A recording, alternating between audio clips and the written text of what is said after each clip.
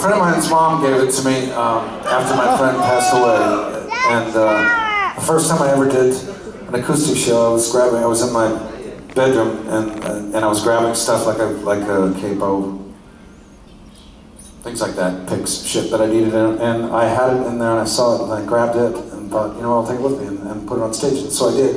And, and then uh, ever since then now, I just kind of like having it there. That, that's the actual true version.